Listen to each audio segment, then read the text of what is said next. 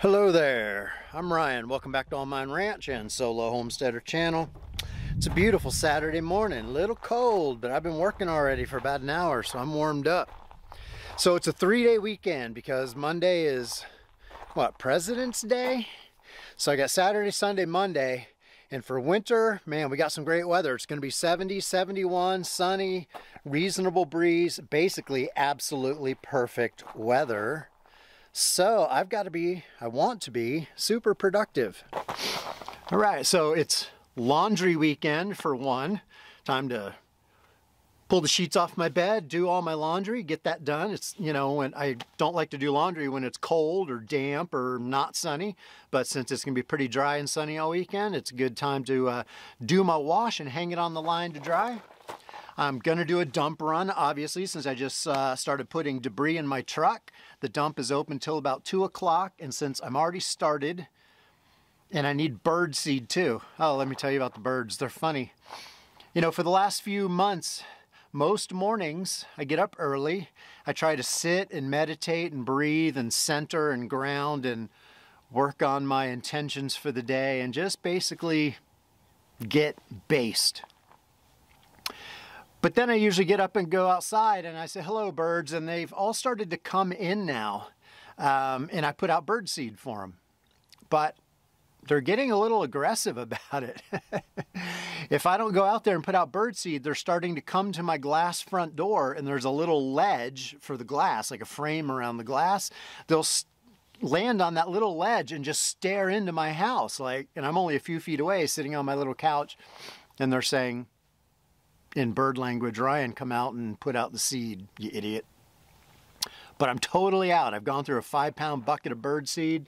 So I need to go hit the hardware store too. So my point is I'm going to go out on my land, start getting some of the brush piles that I've been accumulating for the last two years um, and fill the entire back of my truck with brush because it's fine that it's out on the land, but if we do get a fire, when we get a fire, which is an eventuality, that's just more fuel for the fire.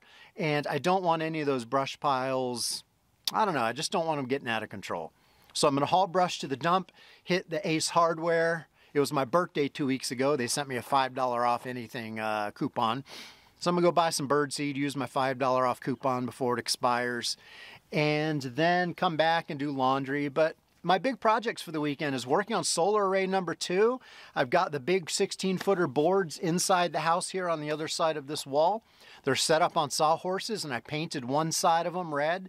I've got to paint the other side and let that dry. Then I can take them out and start mounting them. I already did a little notch for because I've worked out a, a better system for how those things mount to the building and I'll show you that when we get to that stage. So solar array uh, and my pump house, continuing to work on my pump house. um, the layout, insulation, siding, um, um, I don't know, and a million other random projects. I've got so many projects going on, it's not even funny. So don't know exactly what I'm going to work on, but it's going to be whatever I feel like working on. And I do have to pace myself because if I don't pace myself, I will hit exhaustion about 2 p.m. and the days are getting a little longer, staying light now till 6 p.m., maybe a few minutes after 6:30. Um, and I like to work until I can't work anymore. But if I kill myself too early in the day, I won't be able to do it. Because, like I said, I had a birthday. I'm now 53, and my stamina, even though I work hard as a dog compared to most people, my stamina is not what it was when I was 25, 30, 35. So I have to pace myself a little bit, take more breaks, take, you know, a reasonable lunch, just let everything, you know, settle, and then go back out and just, you know, slow and steady wins the race, right? Okay, let's see what I do next. Probably going to go out on the land and load up about 50 Gorilla Carts worth of brush. And I have to wear gloves and eye protection because that brush will absolutely gouge you in the eye, scratch the shit out of your face, etc. Um, everything's thorny out here in the desert, and even though it's kind of broken up a little bit, it'll definitely get you if you're not really paying attention and wearing your safety gear. So let's go do that. I'm walking my trails though and pointing out some debris. So here's another little station along my trails where I found a big ass bolt and nut all rusted out and sheared off. Then a couple of hinges. And I like to just take this old rusty stuff if it's visually interesting and just line the trail with it. There's something, I don't know what that is. Oh, here's the Heinz ketchup bottle. I haven't cleaned it up yet, but I found this old bottle on the land a couple weeks ago and I looked up the design and I think they call it a keg o ketchup 1970. So if you want to Google keg o ketchup, I think that's what it is. Old Heinz ketchup bottle. And then I got like a little rake head here. And here's some other stuff. Old pliers, a knife, some kind of hardware, a bunch of old massive rusty ass nails, uh, metal javelina, that's actually mine, I bought that. Some more hinges, and here's a railroad spike, a couple of them, and some chain, and another nut and bolt sheared off. So when I come across stuff like that, I like to just set it out, and eventually I might trash it or get rid of it. But it's kind of fun just to see how I can line the trail with interesting debris like those things. Hubcaps, hubcap caps maybe, I don't know what those are. Had a lot of cow activity lately. They're stomping everything.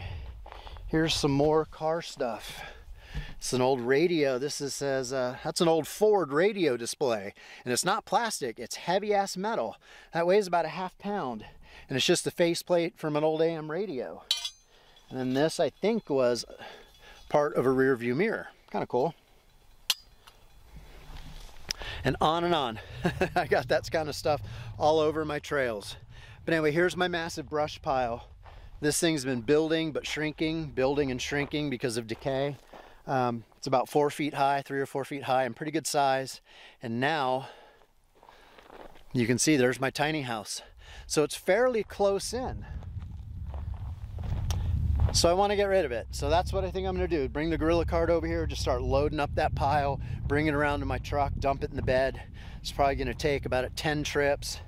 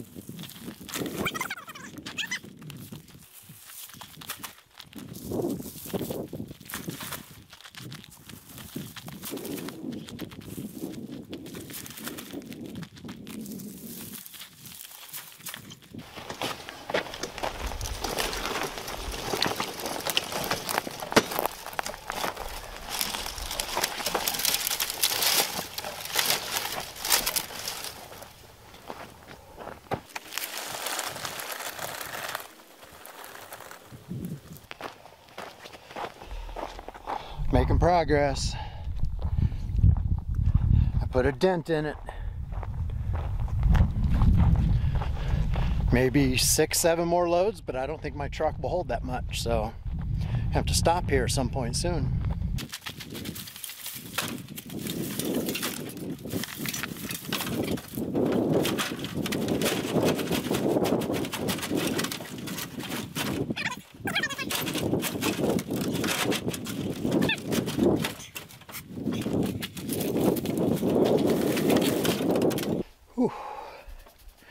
Think I have one load. I can go one more load higher before I have to call it good and head to the dump. Yeah, that gets the heart rate up for sure, stomping on all that stuff. Okay, that was some hard work. Truck is about as full as I can get it. I stomped on it five or six times. I think I got about seven or eight loads in there.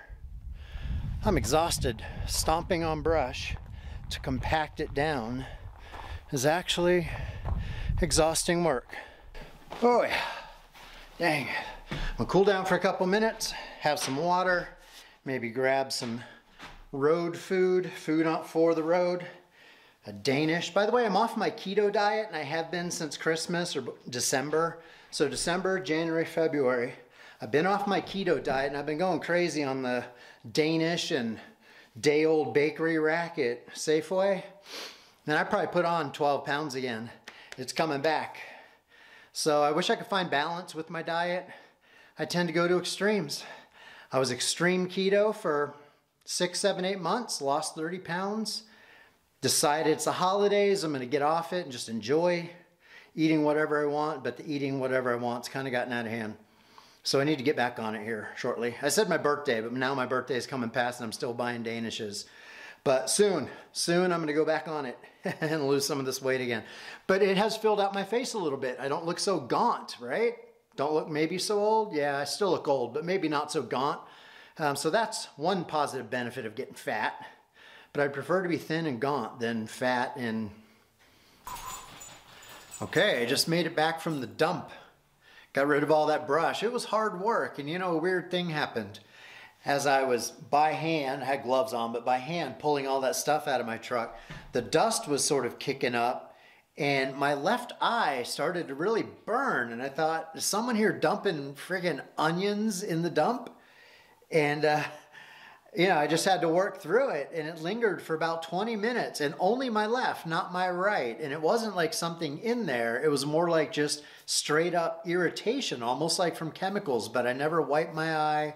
I think it was just the dust that was in all that brush. So it's gone now. I put in some Visine, you know, just to help out. That was kind of weird. Then I went to Ace Hardware and got a couple kinds of bird seed. And then while I was there, I got a bunch of fat washers. After I bought them for 37 cents each, I realized I could have just drilled some hole in some damn nickels and saved myself a few bucks. Would have been some effort, but would have saved a few bucks. What do I need washers for? Great question. Well, I mentioned in a previous clip, I don't know if it'll make it into the video or if it ends up on the uh, cutting room floor, so to speak.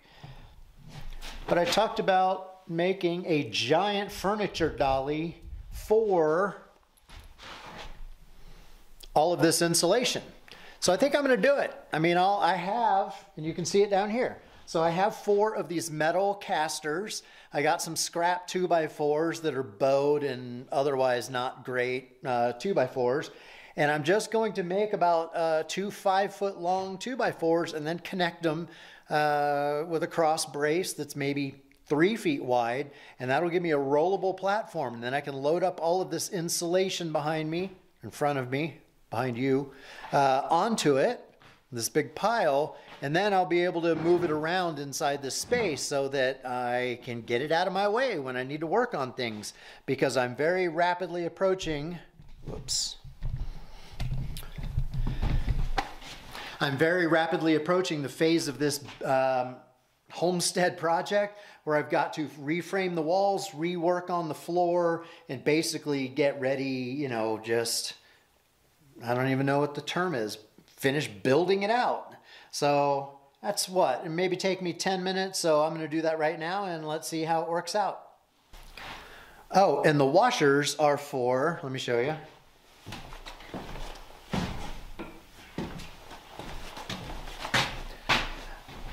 These casters have pretty big holes and all of the screws that I have, the wood screws would go right through the hole. So I'm just gonna put the uh, wood screws through this, that's gonna go on there, and that's how I'm gonna fasten it to the 2x4s. And like I said, could have could have made that out of nickels with a good drill bit and a drill press. And nickels, I could have made my own washers, deface some government money worthless fiat currency. By the way, this morning Bitcoin took a small dip down to 51,000. I bought $50 more because I'm a Bitcoiner and everyone ought to be a Bitcoiner.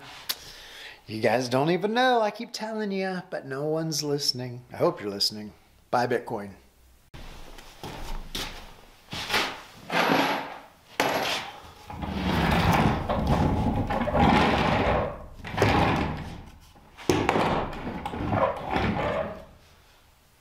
Need another cross brace. Not perfect, but it'll work, especially once I add one more cross brace. Doesn't exactly roll like a skateboard. It, you know, it's a little clunky, but it'll work. And I had those metal casters laying around for years. I think I need to put a little uh, 3-in-1 oil or WD-40 on them. They don't swivel all that easily. But yeah, giant furniture dolly for all those 4x8 sheets.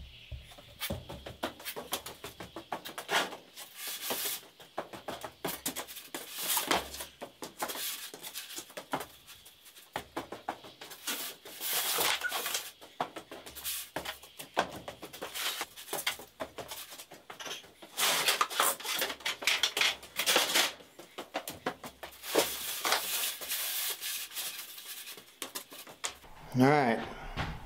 Okay, let's see if it works. See if the idea has merit.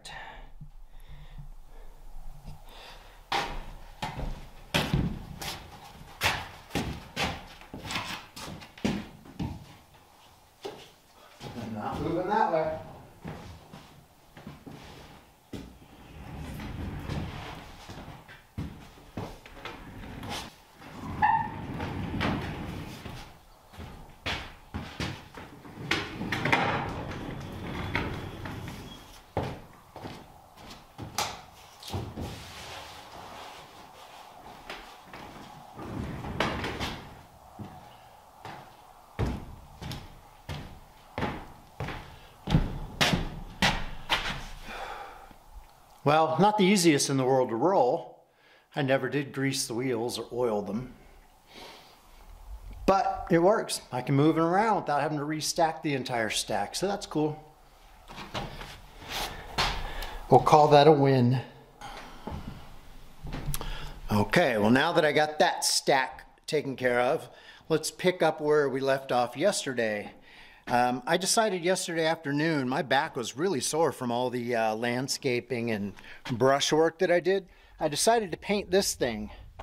For some reason, I don't know what, what I was thinking, I had originally painted this top part yellow, but the whole body of this is yellow or going to be yellow. Door's not done yet, but I did Sorry, it's super bright out here. Oh, I'm blind, I'm blind.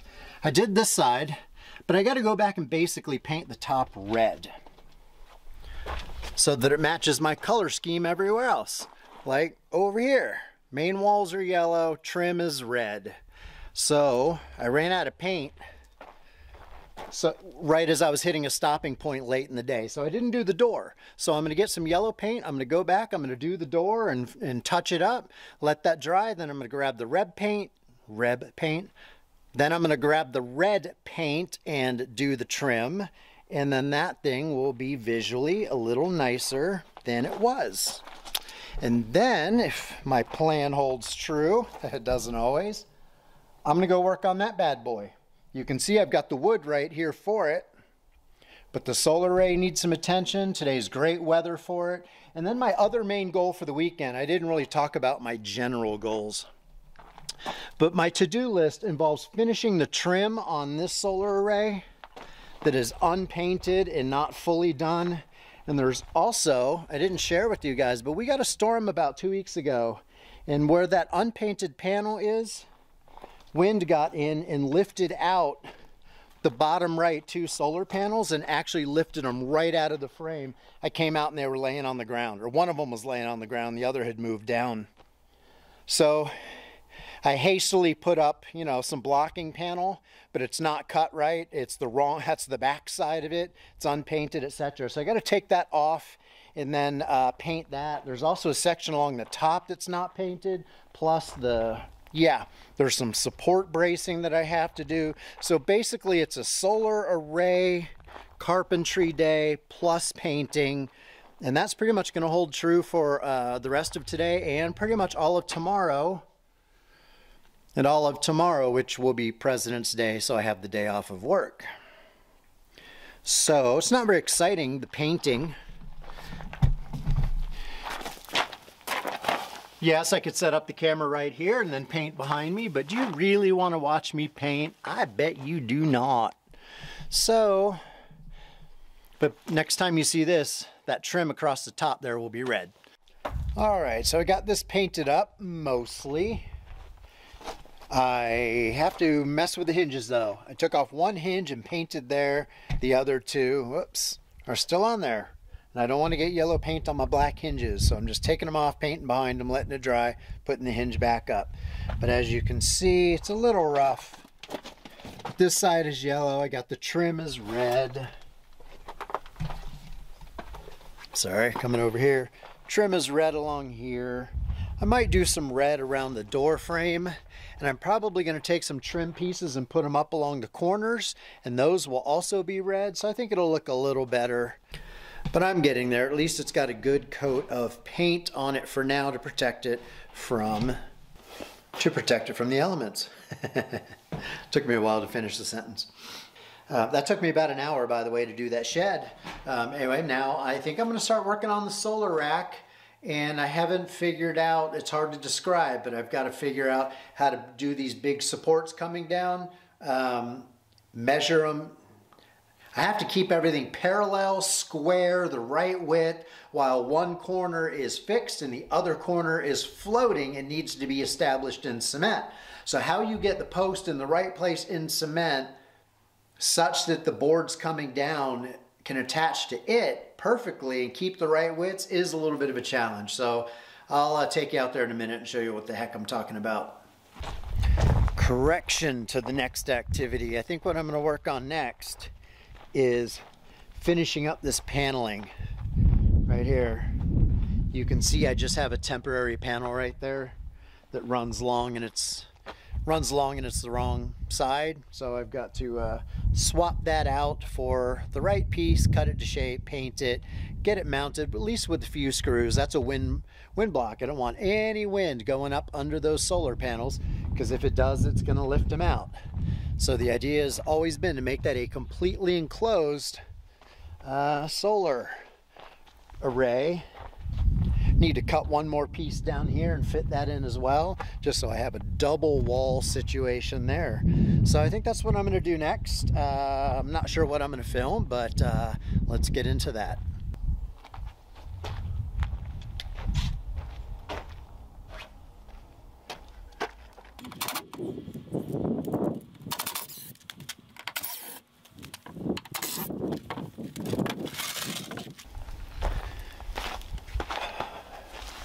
By the way, that is my access to the underside of the solar array. So if I never ever need to get under there in the future, which I will, um, that is my that is how I'll get in there. So, you know, I don't fasten it down with 10 bazillion screws or anything like that. At least that's the plan.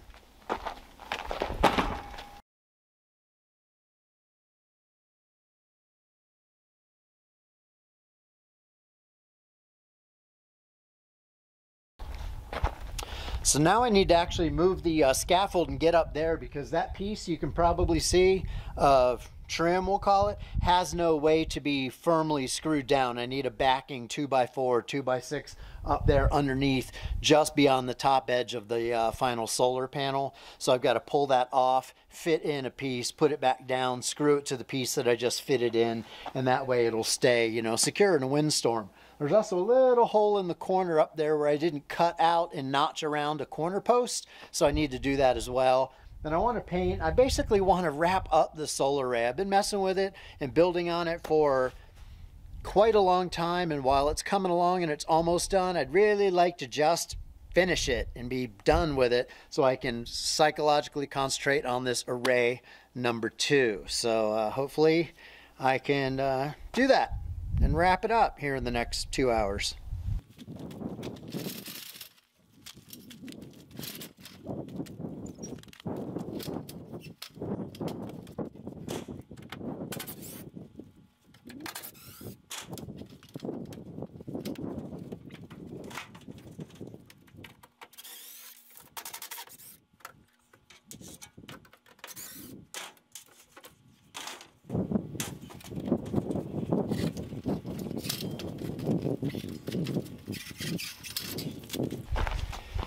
Know, I'm pretty stiff and sore from yesterday. So just doing that, getting up on a scaffold, climbing up, and uh, taking that off, climbing back down, I'm definitely feeling it in my legs and my back, and that just takes some work. Anyway, I got to cut something 65 inches wide.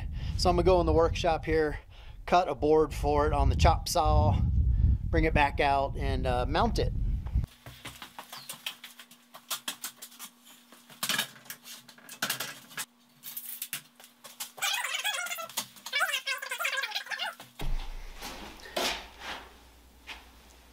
It is nice to have power in here though, so all I have to do is plug in the chop saw. I don't have to run any extension cords or anything like that. That's it's a nice change.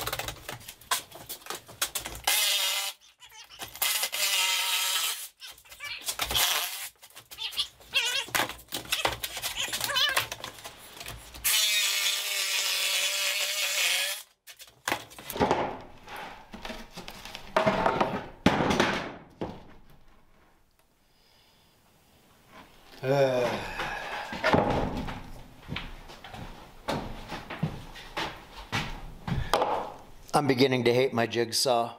Almost everything I do with it now has horrible freaking tear out, so I may have to just stop using it.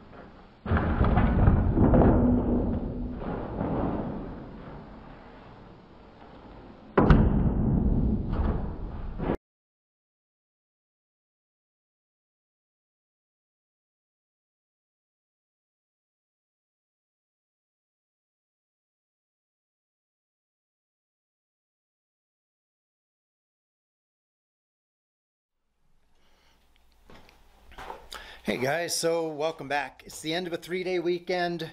I did not film all that much today because I did something that was difficult to film, which is